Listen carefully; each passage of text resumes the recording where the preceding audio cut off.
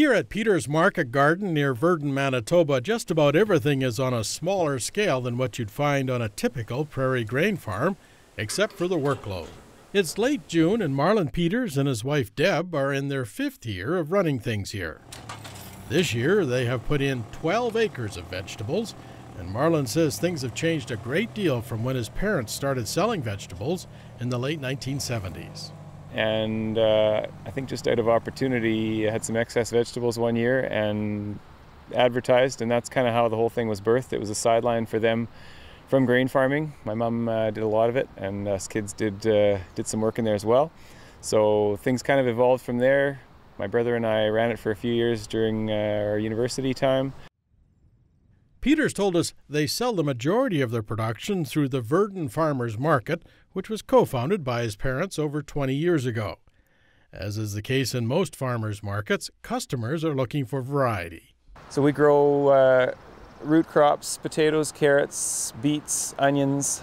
Uh, those would be the main ones that we've done there. We're just dabbling into garlic in the years to come, probably.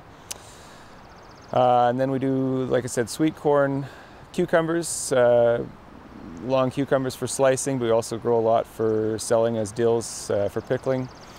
Uh, fresh peas, uh, green and yellow beans, the Peters operation includes a pair of farm built greenhouses, each just over 1,000 square feet.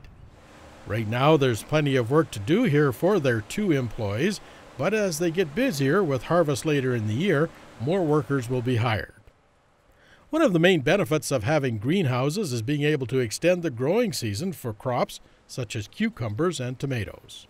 On a good year, you might be uh, starting to pick some tomatoes out of your garden uh, somewhere along the way in August. And with this, we're able to put our plants out. Well, we put uh, plants out that are 10 inches tall already, middle of uh, middle of May or early May, I should say. And uh, on a good year, it looks like we could be almost uh, ready to start picking in July of this year, first week in July or maybe the second. So it uh, you can shave off four to six weeks of the season by putting them in here. Because the tomato plants grow so quickly here in the greenhouse environment at this time of year, they prune and tie up the plants about once a week.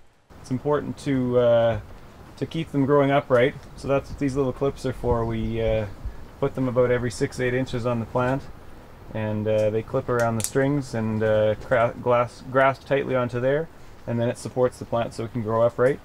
Uh, so that's one part of it, and then uh, pruning is also really important to take the center stem out from between the Y of the of the main stem and the leaves so that uh, instead of the plant becoming a bush and putting all its energy into making more plant, uh, it actually puts its energy into, into making more fruit and growing the, growing the fruit larger and quicker.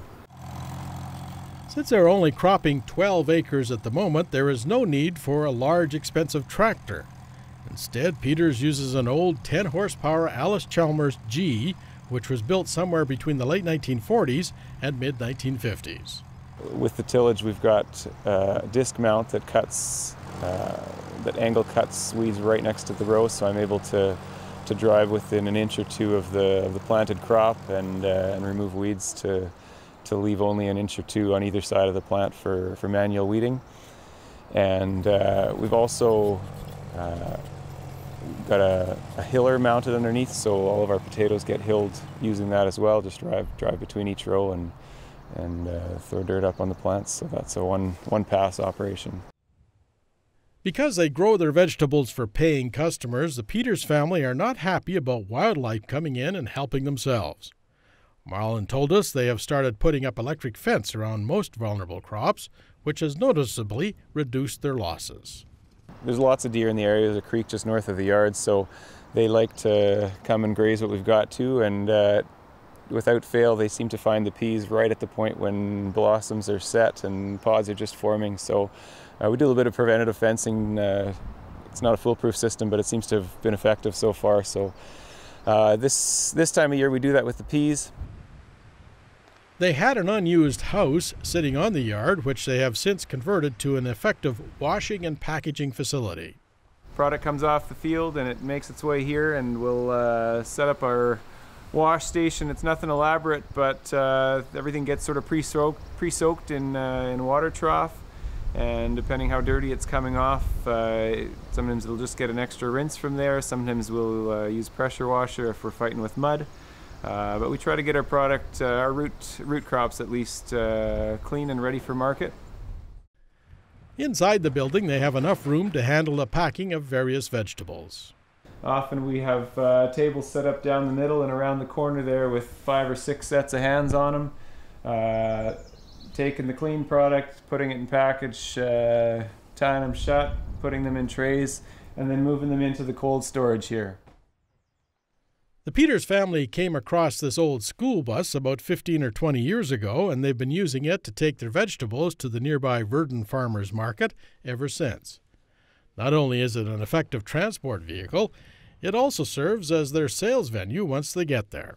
We've got an awning that comes out on the side of it, so we set that up to keep our product in the shade and uh, pull the tables off the side of the bus. So we've got 16 feet of table there, and we put our product out on display, and the lineup forms and moves across the front, and uh, works quite efficiently. In an effort to expand their business, they have started selling at the Brandon Farmers Market to the east and have also headed west to several grocery stores in Saskatchewan. But even as they increase production, they don't want to get so big that everything has to be mechanized. We want to stay small scale enough that that our customers sort of know that their product has been handpicked and not just come off of a mass production. And that's part of the appeal of, of the way we market as well, is that everything's locally grown, it's locally produced, and the concept of knowing your grower uh, is important to a lot of consumers these days. Peters Market Garden has recently expanded into online sales. Anyone in Virden who has to work during the day and doesn't have time to attend farmers markets can place their order online and have it delivered to their workplace. If this program proves to be popular, it may be expanded into surrounding communities in the near future.